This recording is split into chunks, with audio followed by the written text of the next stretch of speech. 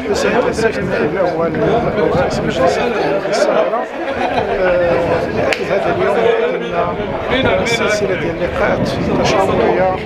وتواصلية لكي يتم السير مع رؤساء ديال الإقليم هذا تقريبا اللقاء الثاني بعد اللقاء ديال تونس انه لقاء في الجامعة ديال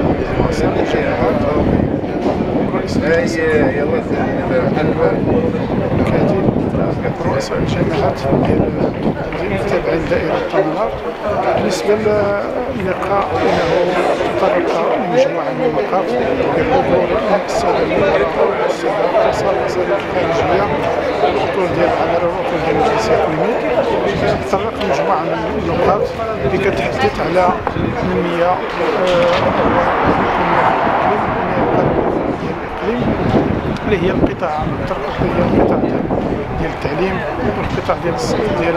الكهرباء كاين القطاع ديال الماء الصالح والشرب القطاع ديال الفلاحة